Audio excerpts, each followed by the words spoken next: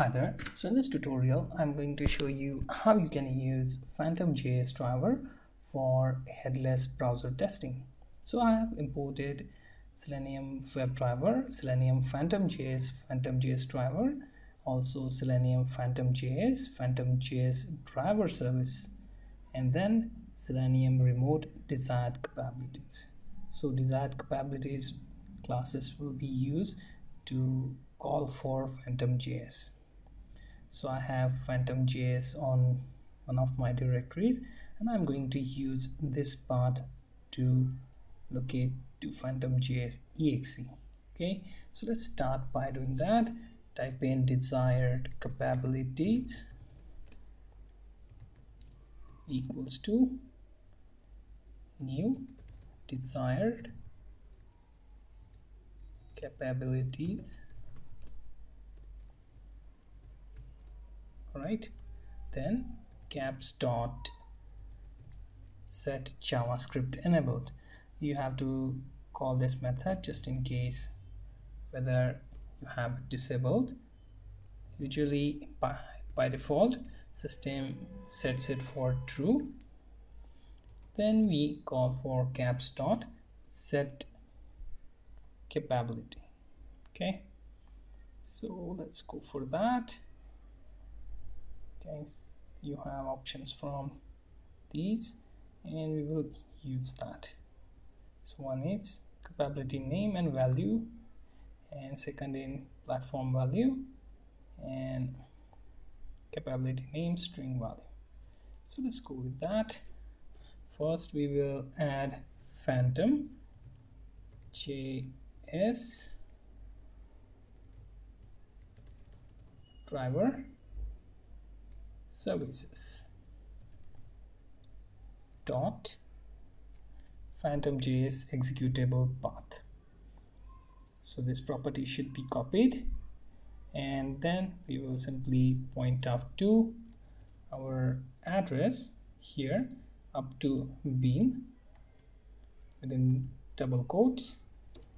And then phantom js.exe make sure that it is backward slash so that it can recognize the path. Once you do that simply call for WebDriver dot WebDriver driver equals to new Firefox driver. Okay after that driver dot get. Let's go to in.wikipedia.org okay and then we will simply get our page title.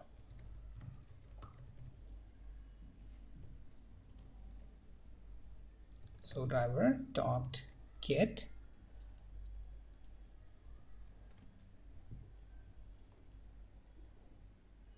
okay so instead of firefox we should be using phantom js drivers sorry for that. I made correction here phantom js driver. Okay again pause the video and go through. Okay once you have everything properly set up let's check in if we got path correctly. Okay so path is correct. We imported desired capabilities. We enable javascript. We also set property for the phantom.js path. Then we are creating instance of phantom.js driver. Then navigating to wikipedia. And finally printing out the page title. Okay. So now we can run the project to see how it works. Pay attention to the console. It will print out all warnings in between okay so let's move in to check what it is doing right now. To finish loading wikipedia.org and finally it will print out page title. Okay so if you increase the size of console and look at here you'll find the message printed is page title wikipedia the free encyclopedia. So now you know how to call for the respective classes and then write the necessary code to run phantom.js driver test.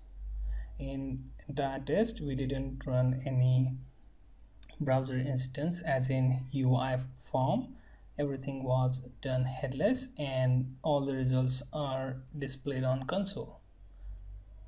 In next video I will show you how you can get screenshot of a web page with the help of